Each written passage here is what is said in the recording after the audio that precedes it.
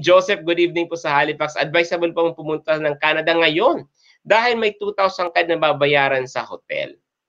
Actually, approximate lang yung 2,000 ha. Po pwede yan tumaas, po pwede yan bumaba. Depende kung magkano ang rate ng hotel.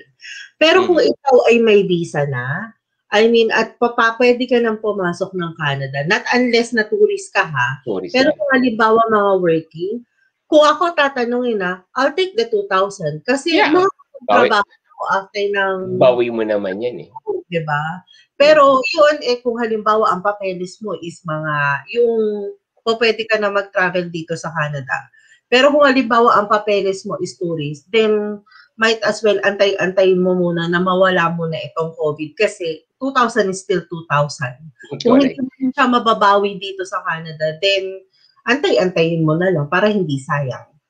Isa, isa pa lang, uh, gusto kong mismo i-highlight yung mention mo kanina.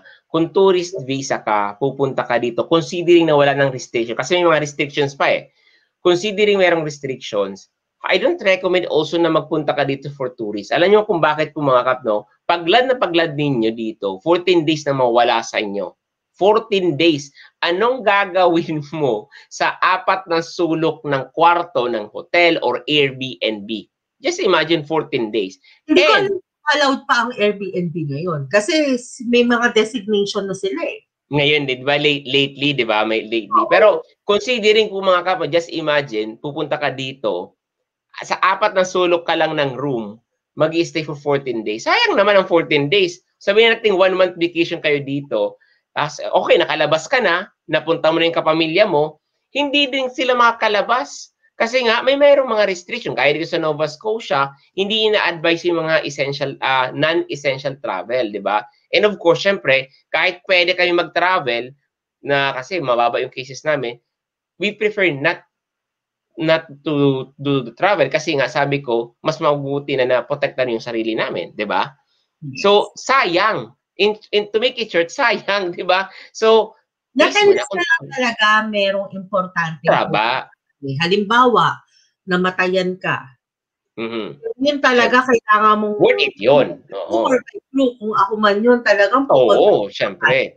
Pero come to think of it, maaantay ka ba ng 14 days? Kasi kahit sabihin mong merong compassionate ground, yung 14 gray, uh, 14 days, wala naman yun exemption. So, Correct. kailangan, kailangan, kumbaga talagang kailangan mo i-weigh in. Pero kung ikaw ay ang target mo is pupunta ako ng Canada para maglakwat siya, then wag muna. Wag muna. Pero may trabaho ka, ay, 2,000, makukuha mo yun. O mabawi mo yun. Lalo na kung may tarong ano, overtime lang niya, overtime mo lang yan. 2,000, eh, overtime mo lang. Imposible hindi mo makuha yan ng dalawang buwan. Sabi gano'n na. diba?